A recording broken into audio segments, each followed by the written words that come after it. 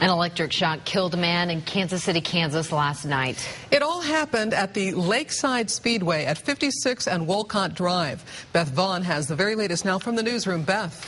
Yeah, 55-year-old 55-year-old Dennis Mike Bowles traveled from Arkansas with family to watch his brother race in KCK. Now, according to witnesses, even before the race began, Bowles walked between two trailers and touched an unknown electrical source.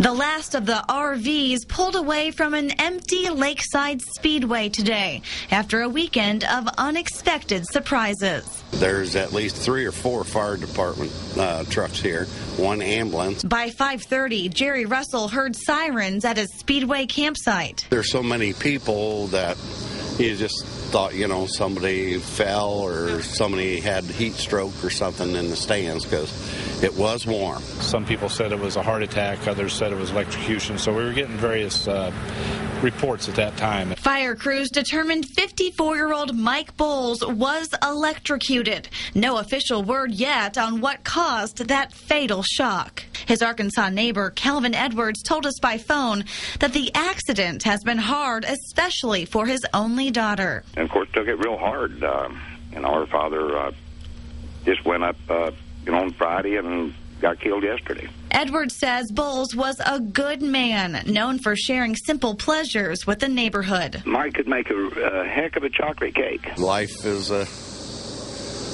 going in a minute, and we all know that. You know, we just live with that, and we just keep it in our subconscious. A somber end to a set of races that Bowles traveled miles to see.